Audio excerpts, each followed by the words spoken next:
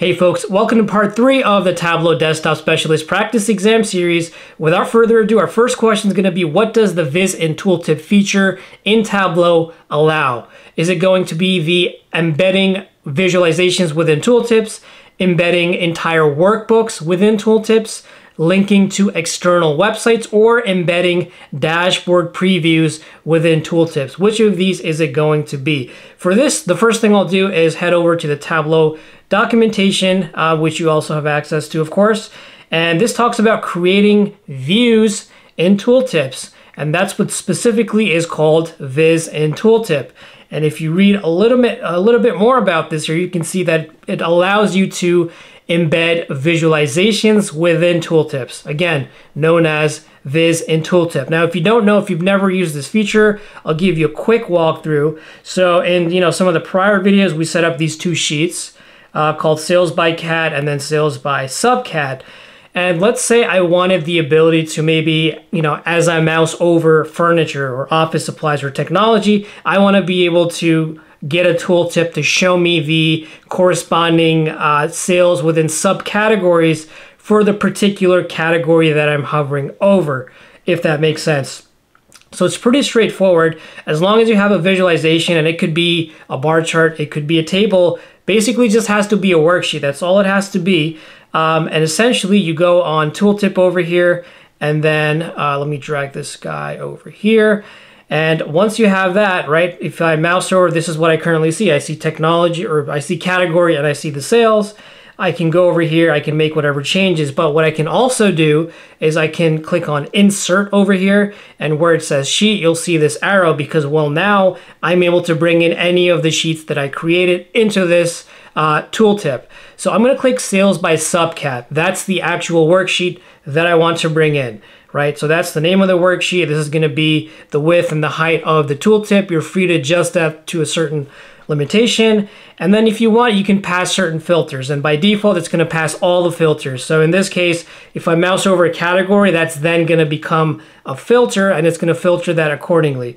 So that's all it takes. And I hit OK. And now you'll notice when I mouse over furniture, it's now showing me that sales by subcategory sheet only for furniture. If I, if I mouse over the next category, it's going to change accordingly. And that's the whole purpose of Viz in Tooltip. So again, going back to this question, what does this tooltip, Viz in Tooltip feature allow? The embedding of visualizations within tooltips, okay? It's not going to be the entire workbooks. The entire workbook is going to be a collection of all of these dashboards, stories, sheets, what have you. It's essentially your entire file, whether it's a TWB or TWBX. So it's not going to be the workbook that appears in the tooltip. It's not linking to external websites. That's not what it's for. And it's not embedding dashboard previews as well. Remember, the only thing you can bring in here are sheets, not dashboards. So just keep that in mind. It's going to be uh, visualizations or worksheets. By the way, if you do enjoy videos like this, consider liking the video and subscribing for more content just like this. Next question, how can Tableau interact with web data in real time? Is it through web data connectors? Is it through uh, a live data feed? Is it through uh, using data extracts or through story points? Which of these is it going to be? So the first option, again, through web data connectors. I'm sure a lot of you might not be aware, but if you look at the Tableau documentation, once again, you'll find there is in fact a web data connector. And actually when you go into your data sources, it's one of the options listed there. Um, so this actually talks about it over here, how you can use web data connector to your uh, advantage in order to be able to interact with web pages. But um, as far as the other options here, um, live data feeds, that's not really gonna help you interact real time with web data. Um, same thing with data extracts, that's more for either storing your data uh, within the workbook itself as opposed to uh, a live data connection. Also, it's not going to be through story points. That doesn't help you interact with web data. The only viable solution here is going to be web data connectors. Next question, true or false, Tableau Desktop can be used as a step-by-step -step ETL tool, right? Extract, transform, load to combine, shape, and clean data. So can you use Tableau Desktop to help prepare that data for, um, for ingestion or for analysis, true or false. Well, if you know your Tableau ecosystem well enough, by now you should know that that's what Tableau Prep Builder is for, right? If you go into the documentation here, it says it front and center, combine, shape, and clean your data faster, right? That's essentially what Tableau Prep Builder is for if you don't already have somewhat of an existing uh, ETL tool to help uh, prep your data. So that's gonna be the solution over here. It's actually gonna be false because Tableau Desktop isn't used as an ETL tool. That would actually be Tableau Prep Builder, which is a separate um, separate product, separate application, if you will. Next question. What features should be used to ensure that a workbook's data reflects the most current data available in a database. So is it going to be server sync, live connection, scheduled extracts, or data source filters? By now you should know it is going to be the live connection. When it comes to Tableau, right, there's no such thing as a server sync that you would have control over in a sense. If it if it was, the proper term would be a live connection, right? These are the only two options you have. So you can either have a live connection, which in real time, it'll query the database and it'll get the latest, freshest data available at that time. And then it'll display that within Tableau. It will load that into Tableau, as opposed to an extract where the data is stored within the workbook itself or on the server at a scheduled you know, basis if that's how you have it set up.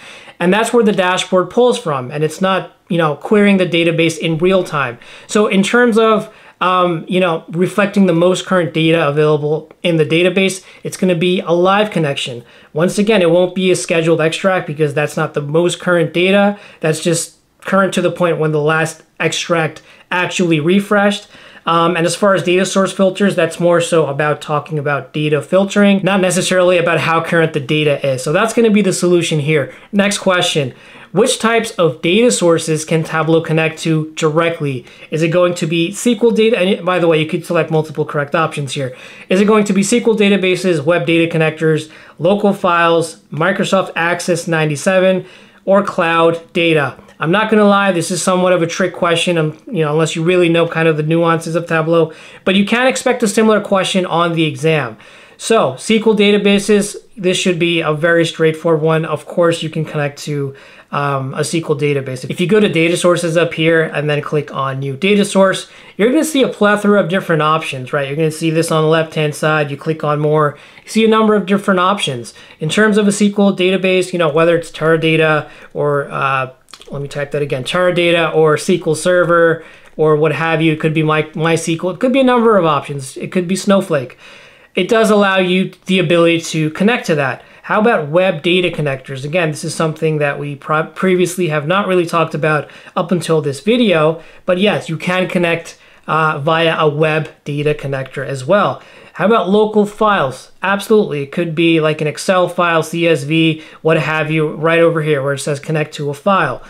Um, let's see, next option, Microsoft Access 97. So that's that's where it gets tricky because if you type in Microsoft Access, nothing comes up. It's being a legacy system. That's not something that Tableau does support. So that's actually not one of the correct solutions. How about cloud data? Of course, like I mentioned, any kind of cloud database like uh, Google, uh, Cloud SQL, for example, that is an example of a cloud environment easily you're able to connect to that. So the only option here that's not going to be correct is going to be Microsoft Access 97. Quick pause. If you like these videos but you're serious about acing the Tableau Desktop Specialist Practice Exam or Certification, I've got news for you. Check out the link in the description if you're interested in practicing with an even more realistic set of practice exam questions. There are at least five different practice exams, 45 questions each, with the proper distribution of exam topic areas.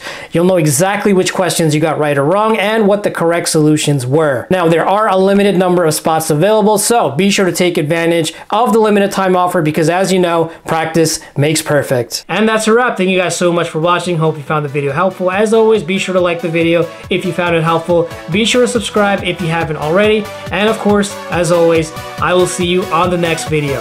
Thank you for watching.